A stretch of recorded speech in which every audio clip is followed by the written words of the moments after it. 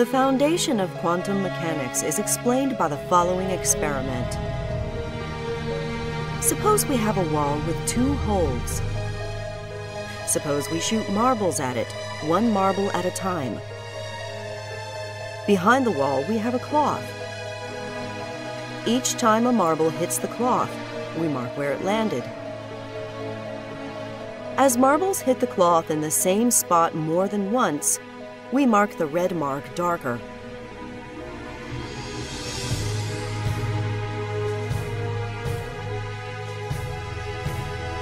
Some marbles make it through the holes by bouncing off at an angle. But most marbles that make it through the holes continue in a straight line. After a while, there will be many red marks on the cloth the darkest red marks will be directly behind the two holes. Now suppose the two holes are very narrow. Suppose the marble is very small. Now the result is very different.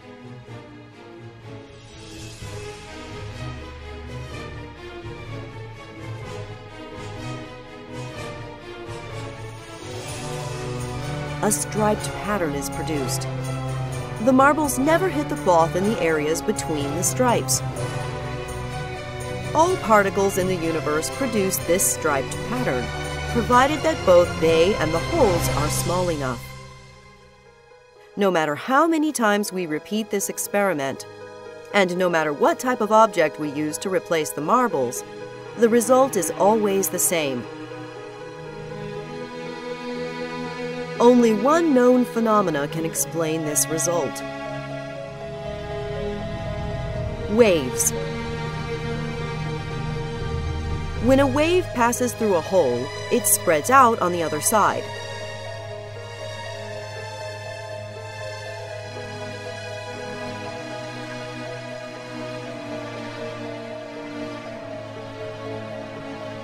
If there are two holes, two waves are produced.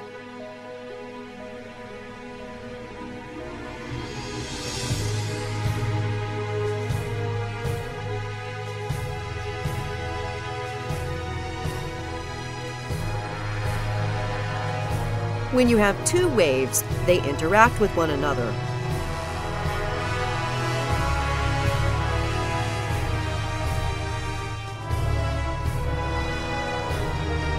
In some areas, they strengthen each other, and in other areas, they cancel each other out. This creates a striped pattern. This is the exact same pattern that we saw before. This means that all objects really behave like waves.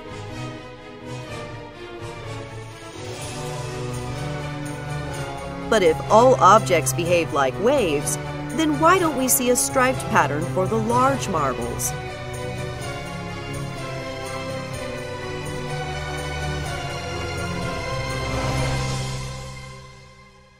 Large objects have much more energy than small objects. Waves have more energy by having a higher frequency.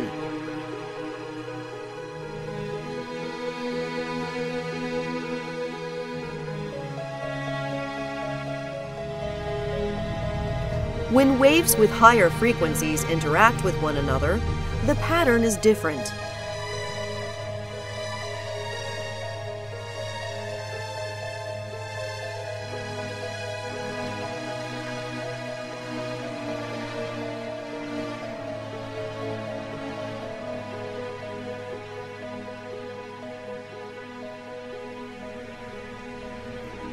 Large objects have more energy, and they therefore behave like high-frequency waves.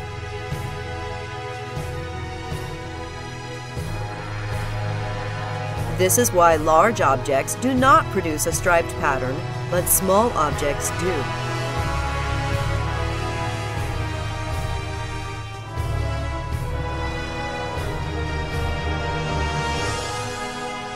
But there's still a problem. For a wave to produce a striped pattern, each wave must simultaneously pass through both holes, so that there will be two new waves that interact with one another.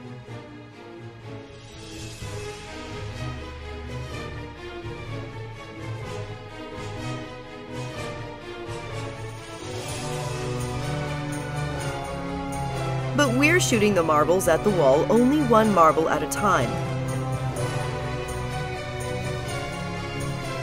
This means that each marble must somehow simultaneously pass through both holes in order to create the striped pattern.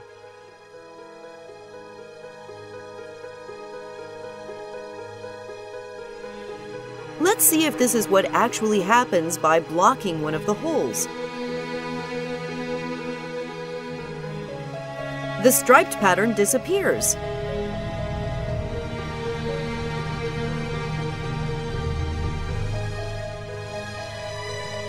Most of the marks are now directly behind the one open hole.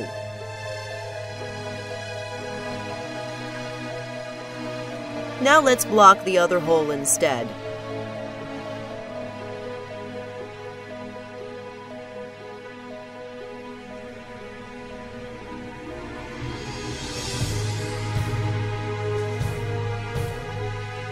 Again, the darkest lines are directly behind the one open hole.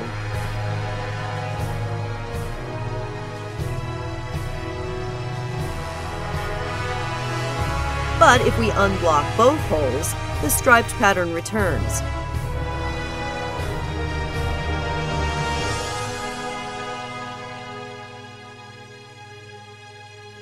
Areas that were hit many times when one of the holes was blocked are now never hit when both holes are open.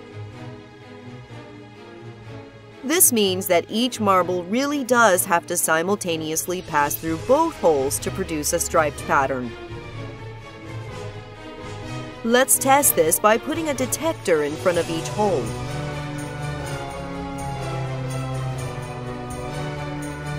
We should expect that both detectors will simultaneously indicate that the marble passes through it. However, this is not what happens.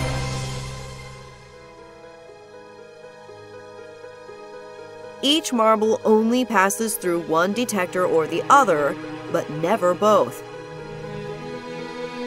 Also, once we place detectors in front of the holes, the striped pattern disappears.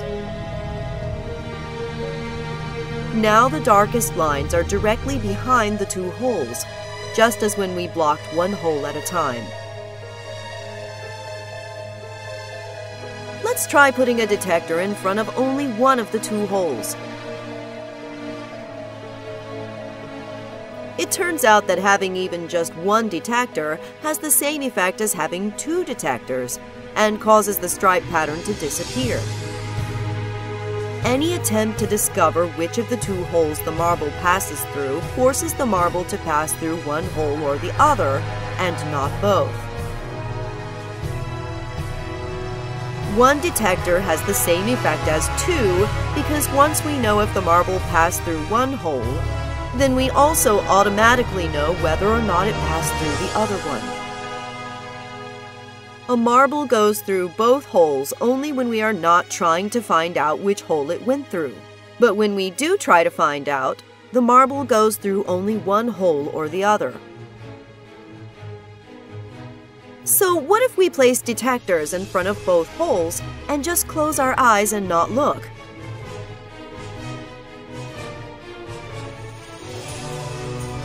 We don't know for sure what is happening when we are not looking, but we do know what the mathematics describing the waves tells us. When waves pass through a detector, the waves are altered so that they can no longer interact with one another.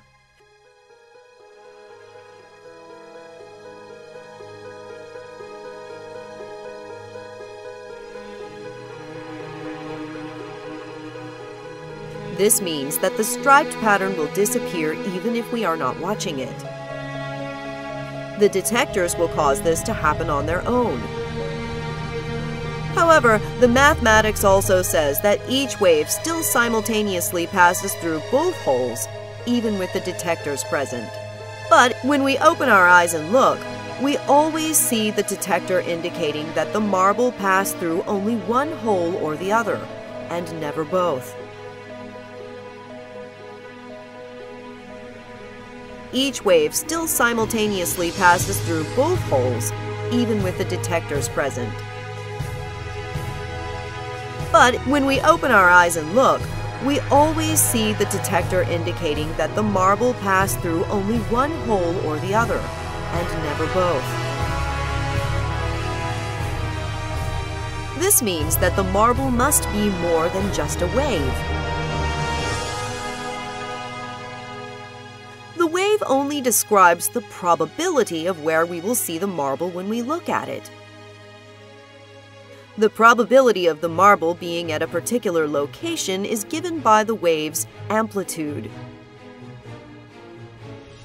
The higher the amplitude of the wave at a particular location, the higher the probability is that we will see the marble there when we look.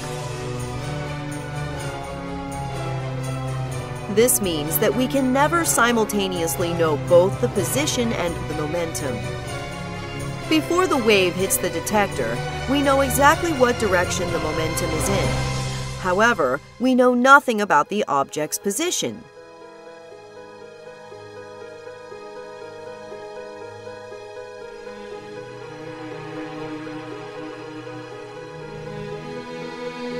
Immediately after we see the marble hit the detector, we know exactly where its position is, but now we know nothing about the direction of the momentum.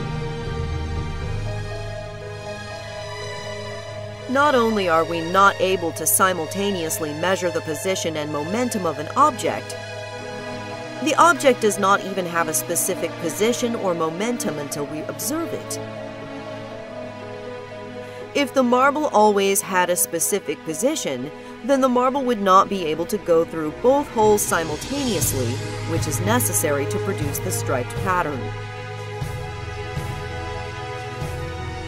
But if all objects are just a wave of probability until we observe them, then this means that the detectors and all the objects the marbles interact with are just a wave of probability too. Suppose we place an object behind each of the two holes.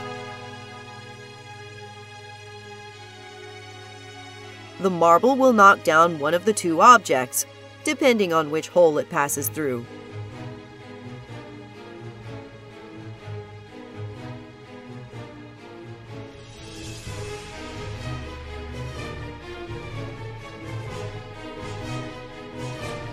If we close our eyes and don't look, then the wave of probability passes through both holes, and each object being knocked down also becomes a wave of probability.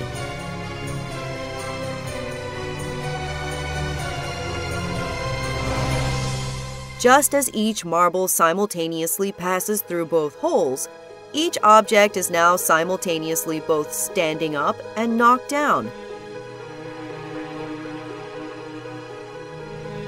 No matter how long we wait after the marbles have hit the objects, each object will continue to have a probability of still being in the standing position. And each object will also continue to have a probability of being in the knockdown position. According to the mathematics describing the probability waves, neither outcome is certain. It's only when we open our eyes and look that we see only one outcome or the other.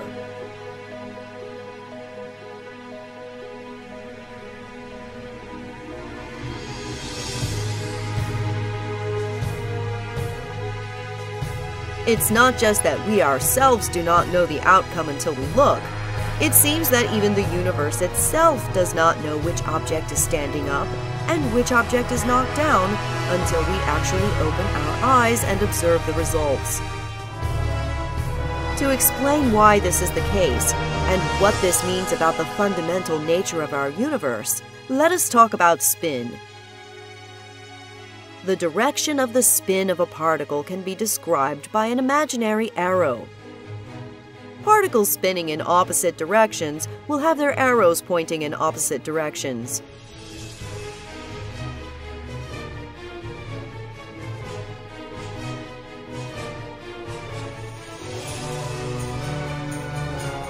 particles are too small to see the spin directly with our eyes, we can build detectors which tell us if the spin is in the direction of the red plate or if the spin is in the direction of the blue plate.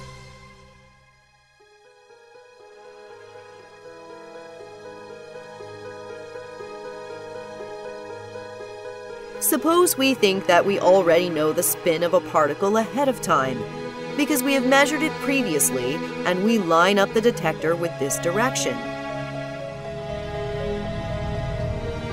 The detector will always give us the same result we measured previously. But if the spin we measured previously is not in the same direction as the detector, then the act of measuring the spin ends up changing it.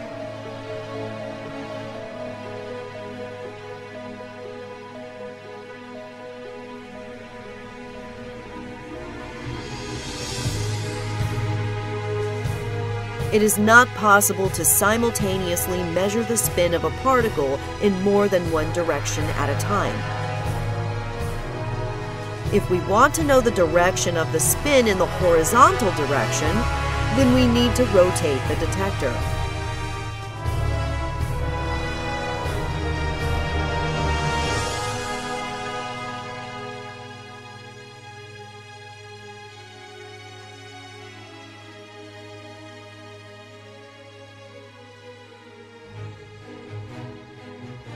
But why does this mean that the universe does not know what an object is doing until we observe it?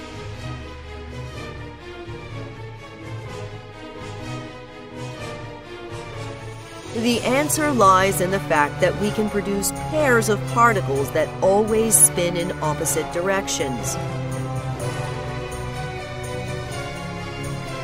If the two detectors are aligned in the same direction, then when the spin of one particle is measured to be towards the red plate, the spin of its partner is always measured to be towards the blue plate. This is true 100% of the time.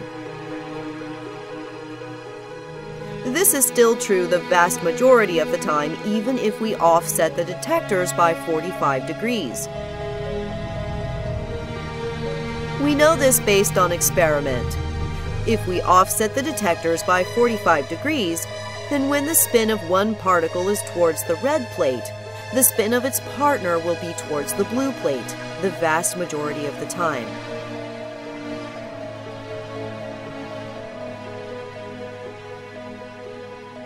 Suppose the two detectors are perfectly aligned with each other and they are both in the diagonal position.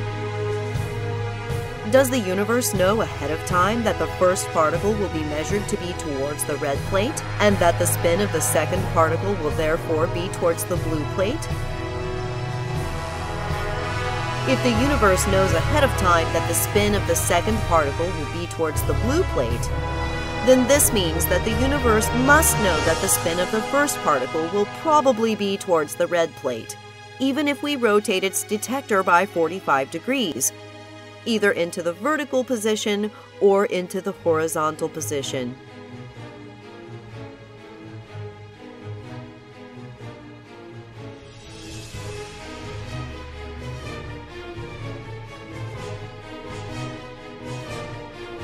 Therefore, if the universe knows the results in the diagonal observation ahead of time, then the universe would also know that if one detector will be rotated into the vertical position, and the other detector will be rotated into the horizontal position, the two particles will still probably be spinning in opposite directions. But when we actually do the experiment, this isn't what happens. When the two detectors are offset by 90 degrees, there is no correlation between the measured spins of the two particles. When the two detectors are offset by 90 degrees, the spins of two particles are just as likely to read in the same direction as they are to read in opposite directions. Therefore, if we start out by assuming that the universe knows ahead of time what the measurements will be, this leads to a contradiction. Assuming that the universe knows the answers ahead of time implies that most of the time, the measured vertical spin of one particle must be in the opposite direction of the measured horizontal spin of the second particle. But we know that this is not the case. The apparent implication is that the universe cannot know ahead of time what the measurement of the spin will be, and the universe makes up its mind only when the spin is actually observed. The apparent implication is also that when the spin of one particle is measured, it sends an instantaneous message to its partner to spin in the opposite direction. If each particle makes up its mind about what direction it's spinning only when it's observed, then we need this instantaneous message from one particle to the other in order to guarantee that the two particles will always decide to spin in opposite directions when the detectors are aligned.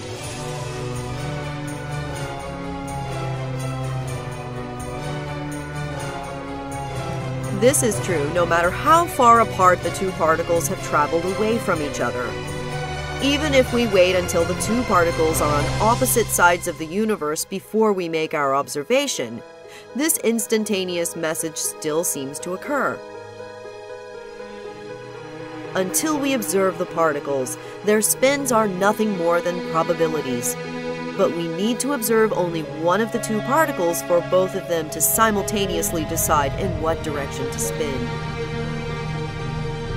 If everything in the universe is made out of these particles, including the detectors themselves, then the detectors are also nothing more than a probability until they are observed.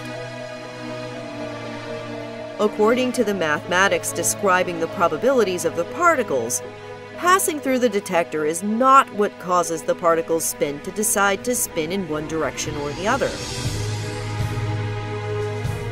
Passing through the detector entangles the detector to the particle in the same way that the two particles are entangled to each other.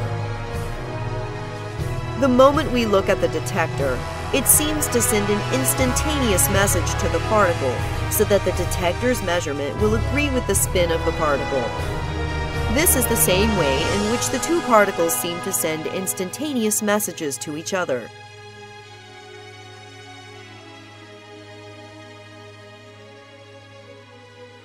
There are many possible explanations as to what's actually happening and how to interpret these results, and this is a matter of considerable debate. But if we really do have these types of instantaneous messages, which are faster even than the speed of light, then this creates an interesting situation with Einstein's theory of relativity. According to Einstein's theory of relativity, different observers will disagree about which of two events happened first, and no observer is more correct than any other.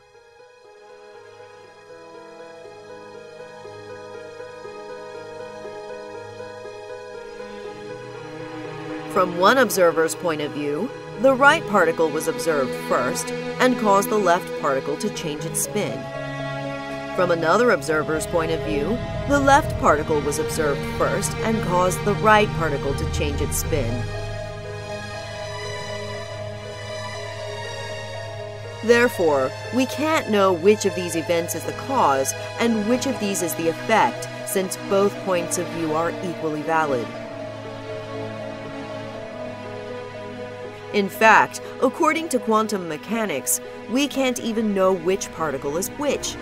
Suppose we have two particles in a container. Each particle does not have its own separate probability wave. There is only one probability wave, which describes the probability of measuring the two particles in every possible combination of positions. The probability that particle 1 will be in one position and that particle 2 will be in another position is exactly equal to the probability that the two particles will be in the swapped positions.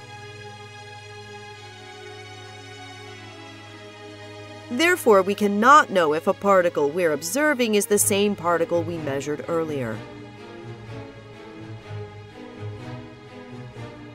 If we think of our container as the entire universe, then this would imply that the universe consists of just one probability wave, governing the probability of all the particles in existence.